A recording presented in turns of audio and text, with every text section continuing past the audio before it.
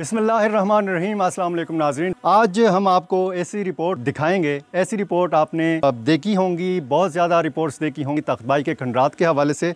बुधमत आसार कदीमा है ये और जहाँ पे मैं खड़ा हूँ, ये तीस फ़ीसद हिस्सा दरियाफ़्त किया गया है।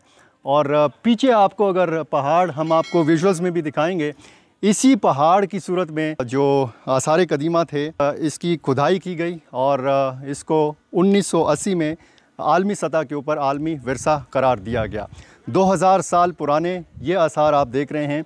इसमें मुख्तलिफ़ हिस्से हैं मुराकबे की जगह हैं, इबादत खाने हैं तह खाने हैं, वो हिस्से भी हम आपको बताएँगे। और इसमें एक बहुत बड़ा हाल भी है, कॉन्फ्रेंस हाल वो भी हम आपको बताएँगे। और आपको बताएँगे इस सारी जगह की तफसील और कहाँ पर बुद्धा के जो बड़े बड़े मुजस्मे रखे गए थे वो मुजस्मे आज कल यहाँ पर तो नहीं हैं। आपको इस आसार कदीमा के मुख्तलिफ़ हिस्से बताते हैं। अठहत्तर, उनासी, अस्सी, इक्यासी, बयासी, दो सौ बयासी सीढ़ियाँ चढ़ने के बाद आप इस मरकज़ी हिस्से में दाखिल होते हैं, जहाँ से आप तख्त पाई के आसार कदीमा को तफसीली तौर पर और बहुत करीब से देख सकते हैं। ये जो आपको बड़े बड़े खाने नज़र आते हैं। यहाँ पर किसी ज़माने में स्टेचूज़ भी होते थे। ये मिनी स्टूपा कोर्ट है। यहाँ पर मन्नती स्टूपाज इनको कहते हैं। हम्म। यहाँ पर थर्टी फाइव स्टूपाज है जब उन लोगों की कोई विश पूरी हो जाती थी पुराने दौर में तो वो एक स्टूपा कंस्ट्रक्ट करते थे। तो मुख्तलिफ़ विश हुआ करते थे तो इसी वजह से ये स्टूपाज एक दूसरे से मुख्तलिफ़ हैं। ठीक और ये जो सामने ये बड़े बड़े खाने नज़र आ रहे हैं ये जो मकाम नज़र आ रहे हैं इनका क्या मकसद था? बुद्धा के लाइफ स्टाइल के मुख्तलिफ़ स्टेचू इनमें लगे होते थे पुराने दौर में। यानी जब बुद्धा मुख्तलिफ़ मराहल से गुज़रे हैं, जब वो रोज़े की हालत में थे, जब वो मराकबे की हालत में थे, जब वो जिस तरीके से उन्होंने जंगल में बहुत अरसा गुजारा था तो वो मुख्तलफ़ हालात जो हैं, वो उनके स्टेचू की सूरत में यहाँ पे महफूज थे। और आज वो स्टेचूज़ जो हैं, वो बुद्ध जो हैं, या वो मुजस्मे जो हैं वो पिशावर के अजायब घर में ज़्यादातर पड़े हुए हैं। ये तर्ज़ तमीर आप नाजरीन, मुलाजा कर सकते हैं। उसी ज़माने का असली हालत में बिल्कुल वही पत्थर और जहाँ जहाँ पर इसको मुरम्मत किया गया है इसकी कंजर्वेशन की गई है तो वो भी वाज अंदाज में नज़र आ सकती है। मरकज़ी ये ख़ानका है इनका। ये भी हम आपको करीब से दिखाते हैं।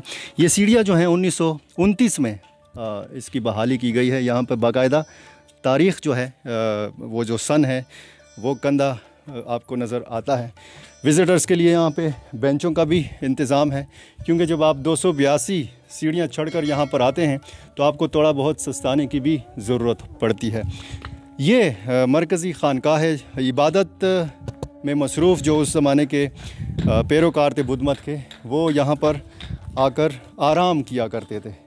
और यहाँ पर इस ख़ानका के हवाले से कुछ तारीख़ भी लिखी हुई है कि बुद्धमत के इब्तदाई सालों में बख्शु सन्यासी या जाहिदाना ज़िंदगी गुजारने के लिए खाना बदोशी इख्तियार करते थे। उनकी कोई मुस्तकिल रहाइश ना थी।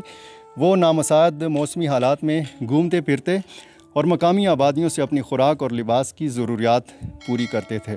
फिर कुछ लोगों ने उनकी इस हालत ज़ार पर तर्स खाकर साइबान मुहैया किए और जल्द ही ये खानकाहें जो हैं, ये जो हैं, वो आबादियों से कुछ फासलों पर बनने लगीं ताकि बख्शों की इबादत में कोई मुखल ना हो और करीबी आबादियों से उनकी ज़रूरत भी पूरी हो। पहली सदी ईस्वी से खानकाहों के बनने में तेज़ी आ गई। ये मुख्तलिफ़ मराहल से इसकी तामीर जो है, गुज़री है और ये मुख्तलिफ़ आपको यहाँ पे कमरे नज़र आते हैं।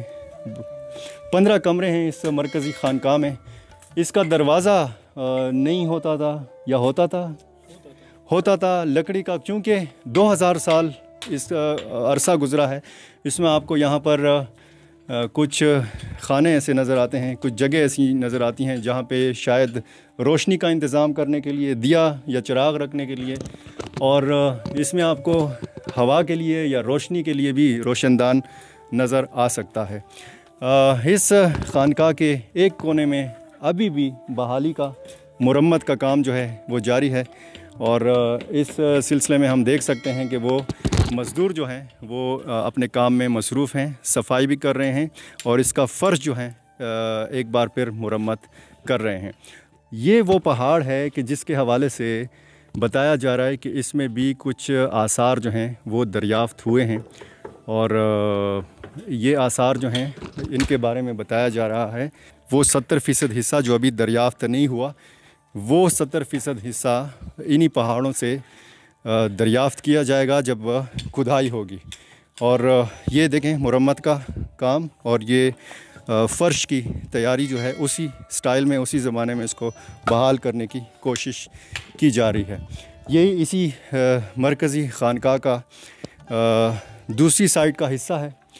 और एक तो सेक्शन बी हम, हमने आपको बताया और ये सेक्शन बी के बिल्कुल अपोज़िट दूसरी जानब पे ये वाला हिस्सा है। सेक्शन डी इसको कहते हैं। और ये देखें, इस पहाड़ में भी आपको आसार नज़र आ रहे हैं और इस पहाड़ की भी जब खुदाई होगी, जब इसको सही तरीके से तलाश किया जाएगा इन खंडरात को, इन आसार को तो कहा जा रहा है, बताया जा रहा है कि मज़ीद जो सत्तर फ़ीसद हिस्सा है इन खंडरात का वो इसी पहाड़ से बरामद होगा। और जो हिस्से हमने अभी तक आपको बताए हैं ये तीस फ़ीसद हिस्सा है। एक बार फिर मैं आपको बता रहा हूँ कि इसी पहाड़ की सूरत में ये खंडरात थे जो आज आपको इस शक्ल में नज़र आ रहे हैं। दूर आपको ये इलाका जो है आ, आ, मर्दान का तखबाई का इलाका है। यहाँ से तखबाई बाज़ार भी करीब है और ये आपको आज की आबादी जो है नज़र आ रही है।